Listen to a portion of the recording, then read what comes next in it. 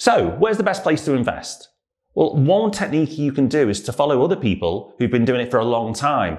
And through our businesses, we've invested millions upon millions of pounds into property in the last 12 months.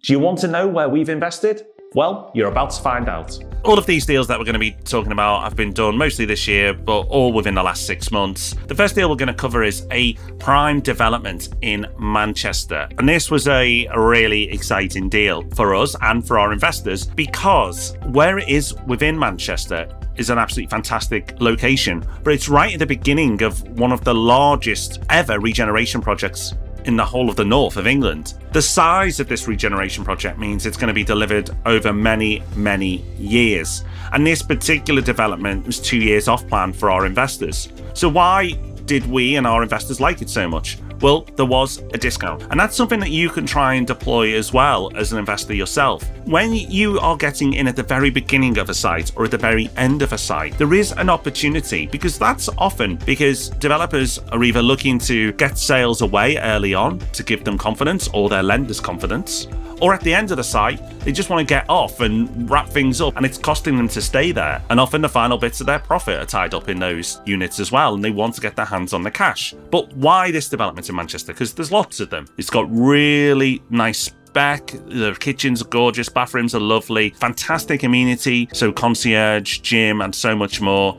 And the developer themselves are really reputable. The prices we paid were dependent on whether they were one bed or two bed, but they range from just over 200,000 to just shy of 350,000. That was the first deal we did. So it's no surprise that we did that deal in Manchester. But Rob, as much as we talk about Manchester, we've been all over the country. Yes, another big deal that we did was in Derby. Now, Derby is a location that we first mentioned in our hotspots for 2021. So I'd already been investing in Nottingham for a long time, but didn't really know that much about Derby despite it being next door. But then once we got switched on to Derby, we put it in our hotspots and then we started actively looking for investment opportunities there. Now, why Derby in the first place? Well, there's lots of reasons like its connectivity, its strong local employers like Rolls Royce, and importantly, the fact that the price points are low and average wages are actually very high, which means affordability is strong, which is important because that provides a driver for capital growth. Doesn't mean it's guaranteed to happen, of course, but the conditions are in place. So that's what attracted us to Derby. We then wanted to go and get the best we could find. We wanted something of real quality because quality rental stock in Derby is very low, and we also wanted one of the best locations because, again, that's the thesis for where the capital growth comes. It always starts at the best properties in the best locations first. And when you look for that, often the compromise you make is on the yield.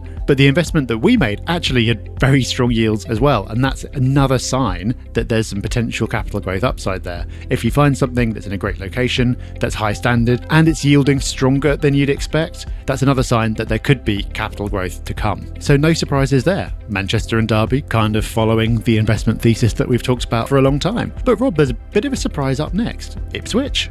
Yeah, Ipswich is a new one for us. We've talked about looking at different areas that aren't getting as much attention. And like you've heard of the previous two deals, we've looked for something different here as well.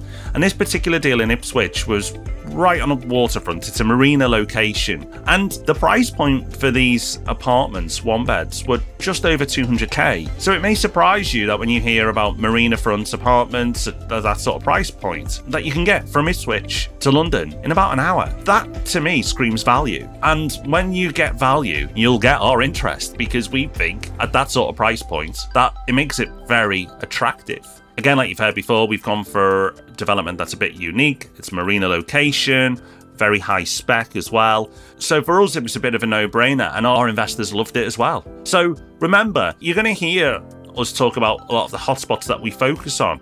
And just like we're open to looking at other areas if the opportunity seems really strong, you, as an investor as well, should be really open to different areas. Don't become too fixated. Derby and Manchester, phenomenal. Don't get me wrong, brilliant cities to invest in, loads of potential. If we told you at the beginning of the show that Ipswich is a place to invest, you may have been surprised. But then when you go Ipswich, hour from London, the location that we talked about, and everything else, then actually it becomes quite compelling. So when you invest and you're looking at areas, be open minded because there may be a cracking deal somewhere that you've just not considered before. Another location we've invested in over the last six months is Sheffield. Now, Sheffield is not a surprise at all. We must have had Sheffield on our hotspots list for as long as we've been doing it.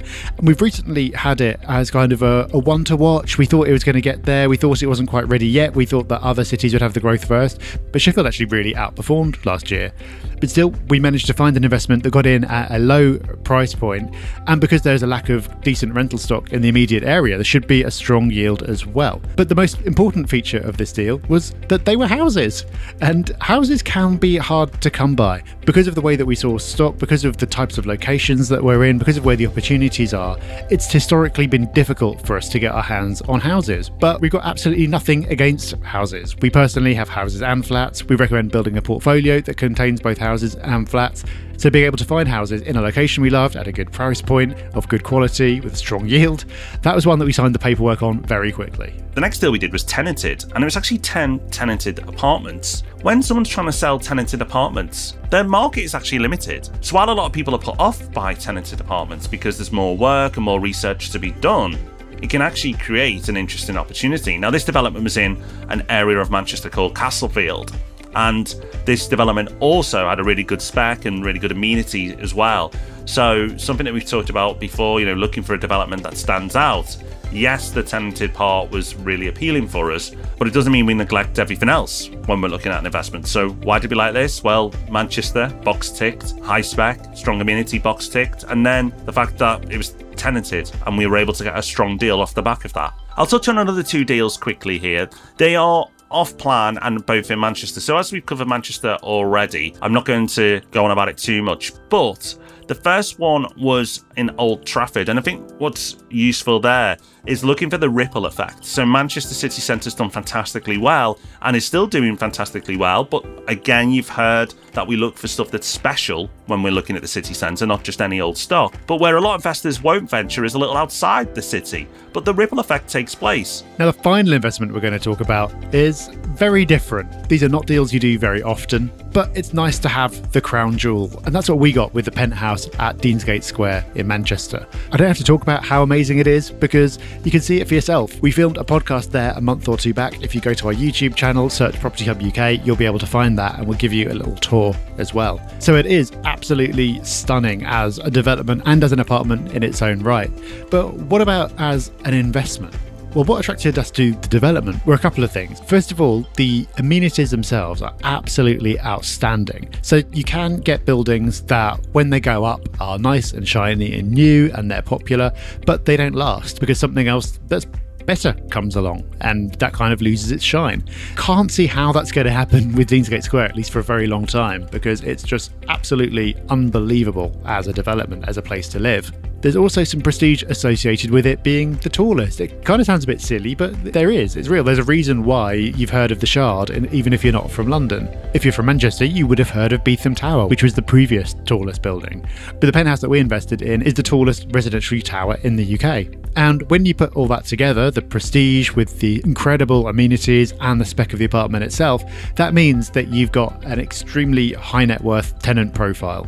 It's certainly not the workhorse of your portfolio, but it adds something a bit different. And another reason that we were attracted to this is the yield is much higher than we would have expected for somewhere of that quality. So there we have it. A lot of deals, a lot of investments over the year so far, and lots more to be done. If you're interested in those investments and think they appeal to you, then check out Property Hub Invest by going to propertyhub.net forward slash invest. And they're the type of areas that we target. And I think there's lessons that you can draw from all of those deals. If you apply the principles of how we invest, looking for something special, looking at areas that are doing really well right now, and also looking at areas that are below the radar that you feel everyone's just kind of missing out on right now, by applying at least some of these principles, I'm sure you'll be far more successful.